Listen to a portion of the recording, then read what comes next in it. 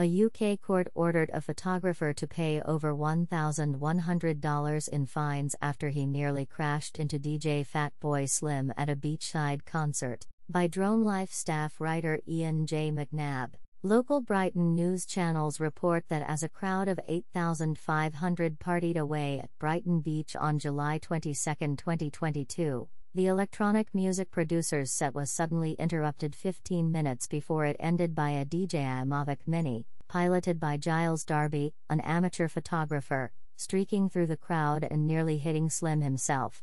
Darby reportedly admitted to recklessly or negligently putting Slim at risk, but insisted that his intent was merely to record the show.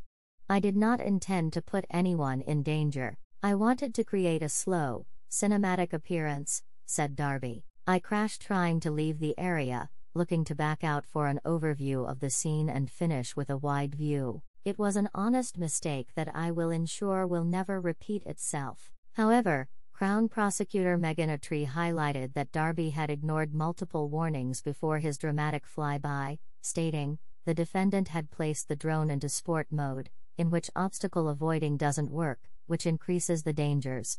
The footage shows a near miss collision with the crowd and performer. There was no damage or injury, but the risk was very real and very present. Darby was found in violation of Part 240 of the Air Navigation Act of 2016, which can include unlimited fines or criminal referrals to higher courts as penalties.